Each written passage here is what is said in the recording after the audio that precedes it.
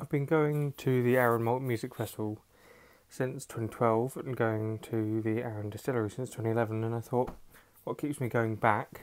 Uh, and I should share that with people because it's awesome, and I keep going back, and I really love going back there. So here's my little journey of uh, Arran Malt Music Festival 2018.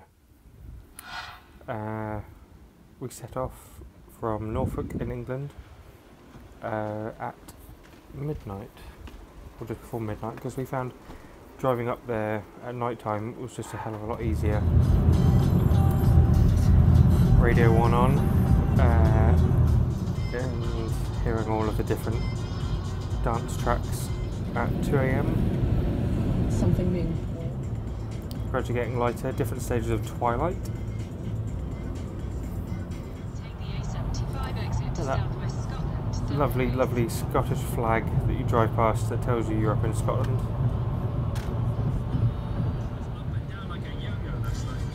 And this year it became apparent, oh, it's going to be sunny. It's going to be really sunny because it was just blue skies. There weren't any clouds anywhere. Um, this is my dog May. And we got the ferry from Ardrossan Harbour. You can also get on at uh, uh, but we got on the main terminal. Took the ferry over. Being on a ferry and smelling the air. And it's hot, and she's got a double coat, so she's panting. But the, the sea was just uh, still, still as a mill pond. And it was hard to see where the sea uh, ended and the horizon started. And I love this uh, ferry journey and going over from the mainland to the, uh, the Isle of Arran at the best of times. It can be wet, windy, any weather condition, but this one was particularly special. I've never seen it so still or so hot and blue. Blue everywhere.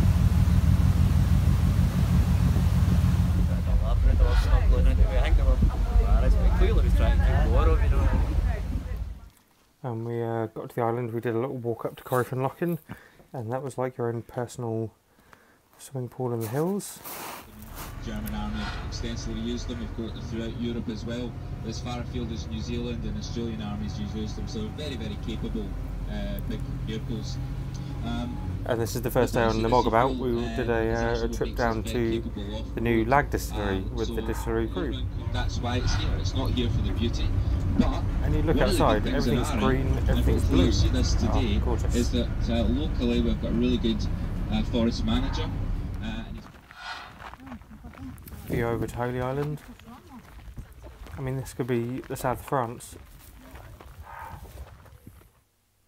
And uh, had an excellent tour guide in the form of Alex uh, and Jackie. life starts again. It pulls in the, the wildlife back into these areas. These areas become hunting areas. And for over 40, even 50 years in some of the areas of Arran, the woods have been closed. Nearly 50% of the south of the island is covered in trees.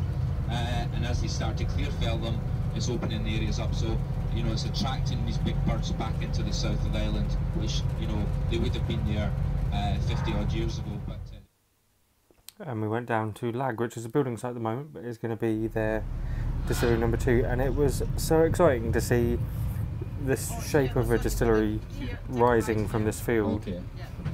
And uh, the bonded warehouses, which we paid a visit to. Uh, down to the warehouse. Okay. We'd cycled by it last year and driven by it for Hogmanay, and you have no sense of scale until you drive into it, how big this place is going to be. Really exciting. There's an orchard over there in the, in the background.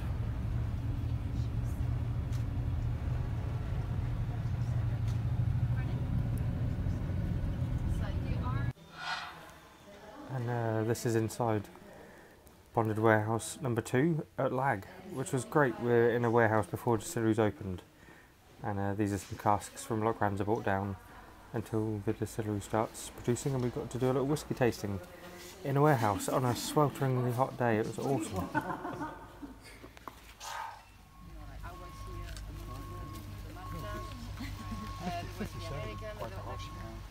That'll all be uh, different in six months it'll be finished and then we went down to Cleats Shore which is uh, Arran's nudist beach and we were all fully clothed but we had uh, we had lunch provided by the distillery, and I, I just felt like I was in the Mediterranean. I could have happily gone for a swim, which I don't always do in Arran, but uh, the the water was crystal clear. And I climbed up a hill, looked out on this local barley field, which is at the back of the distillery, and this is the view from the new distillery, which is just idyllic. That little patch of sand down there is uh, the nudist beach. And then there's Ailsa Craig, which I'll have to do a sea kayak out to. And then this is very good architecture to blend into the scenery. That's the, the distillery and its warehouses. I can't, I can barely distinguish them from the barley field. And the barley is going into the whiskey in the next few years as well. So. And we uh, went to the White Stag dinner in the evening, which was great. along the way, and every year with the White Stag community, we make a lot more as well. And let's just keep that going, everybody. So thank you very much, Langevath. This is uh, that was MD Euan Mitchell getting an award, and here's uh, my friend Rennie from Switzerland.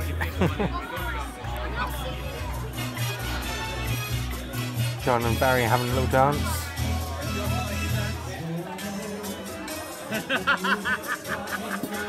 Can John sell the Civic and buy DeLorean? John had a bit of a, uh, a doc from Back to the Future vibe going on. And when Faye returns, she's going to be taking up the reins down at the new visitor experience down at Lagg, which I'm sure you're all looking forward to. Where we've just been. Congratulations, Faye.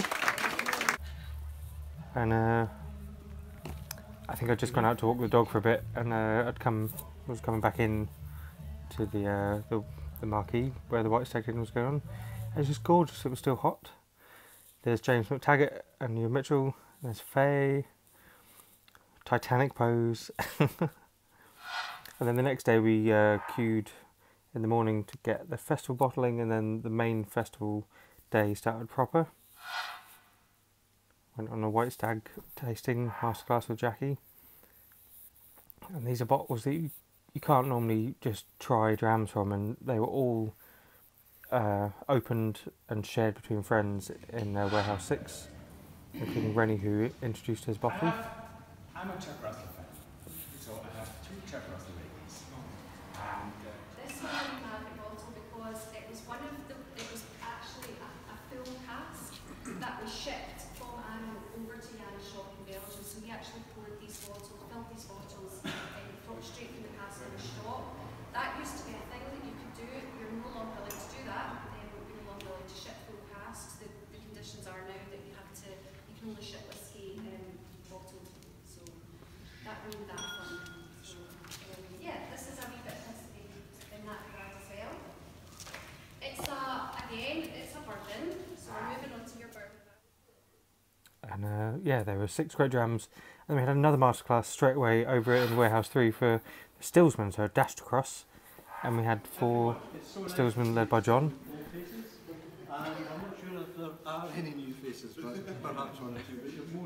all of you, most, most of them. This year we're going to do it slightly differently. There'll be less of me. You'll be glad to hear from. Uh, because we, we there's four of us. Uh, five, including Ryan at the, the end, and has a very, very special part to play in this event today. But we have two new Stillsmen. Yes. Um, so, they need an opportunity to show their stuff and their knowledge. Stuart and John joined the team a few months ago, and you, under no circumstances could you describe them as rookies, even after only a few months. They are not. And in an orderly fashion. Yes, starting Orderly fashion. bottom, starting bottom right. Ryan will pour you the old traditional classic Wow. homemade we, uh, whiskey.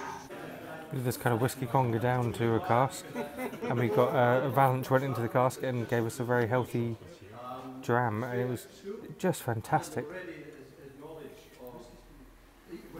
We're in a bonded warehouse getting whiskey poured from a cask with mm, 20 other complete Arran whiskey nuts. Like you couldn't be in a better setting. And the temperature was just intense. Hiya.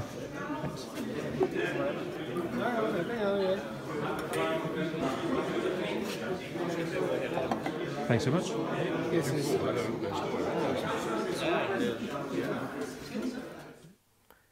There we all are. Uh, after six drams. Then we drove around in the evening with some friends through Glen Sannox.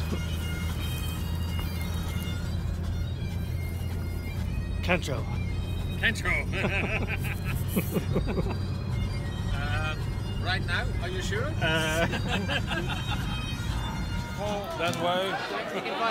no. And uh, we came back to the ceilidh in the marquee in the evening.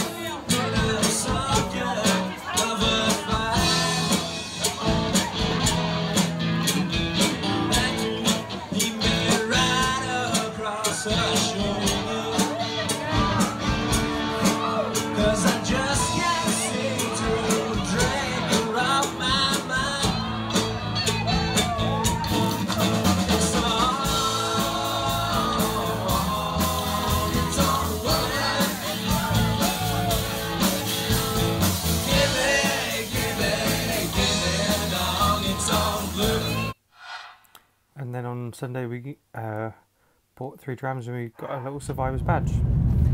And all of a sudden that was the weekend over.